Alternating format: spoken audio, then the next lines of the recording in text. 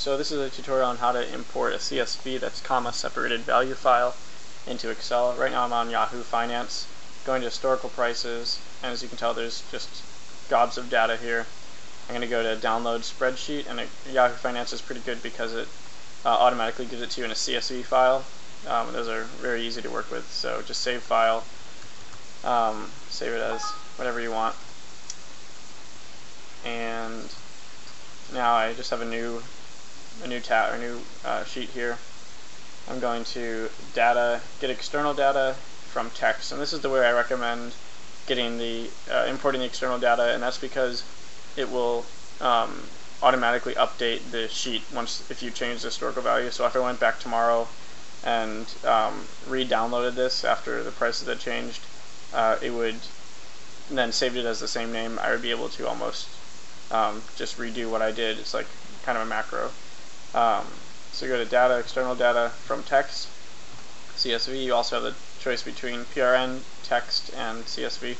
Um, text is this, you know, next most commonly used. PRN is pretty seldom used. So I'm going to import, and it brings up the text import wizard.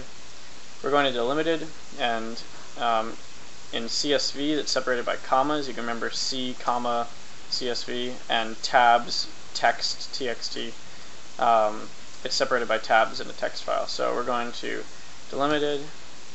So if we were using a text file, we'd use tab, but right now we're using comma.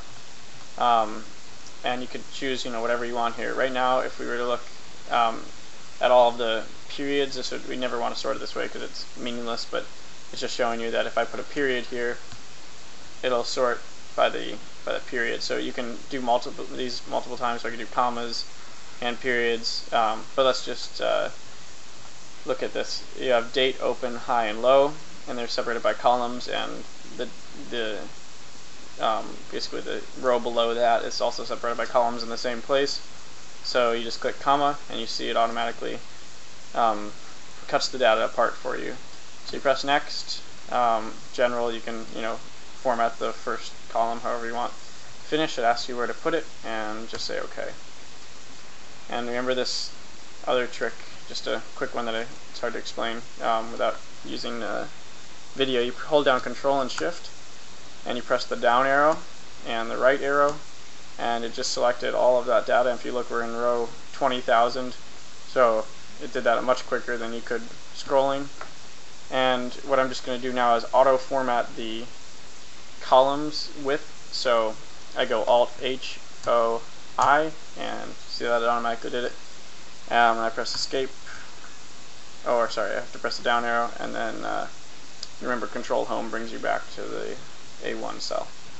So I think that uh, is the CSV tutorial and we'll also look at text files in a second.